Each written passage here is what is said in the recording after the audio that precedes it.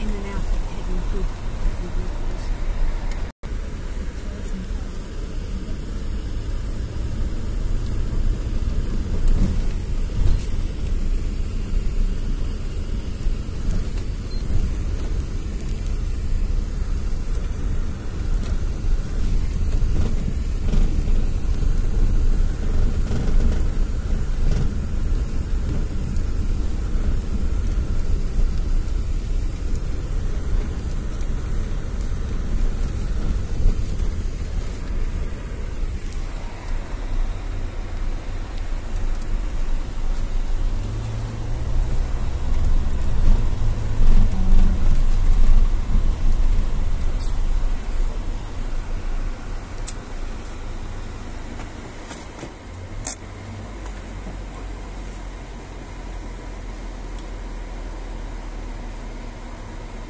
Listen a bit more close up if you can.